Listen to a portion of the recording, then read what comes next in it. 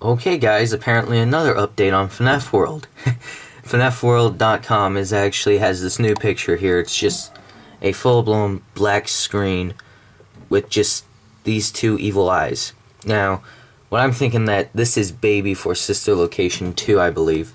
And the reason why is because if you've seen the trailer, she has green eyes and, you know, four eyelashes, like one, two, on both eyes, and you know that's what all the other animatronics have zero eyebrows, but Baby only has the you know eyelashes or whatever, and it might be a withered one because if you look, this eye's a bit more put in, and this one's a bit more point out.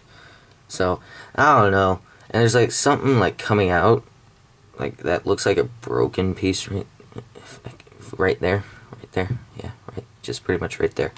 But you never know. So I'll leave the uh, Scott Games and the picture of the. Uh, well, I don't even know what I'm talking about. This website in the description below if you want to take a look at, at yourself. And uh, if you brighten it up, you see like some stuff, but I don't know. I'm not gonna brighten it up for you guys, so yeah, you can just do it yourself. But um, yeah, guys, hope y'all leave a like, comment, subscribe, and I'll see you guys next time. Peace out, yeah.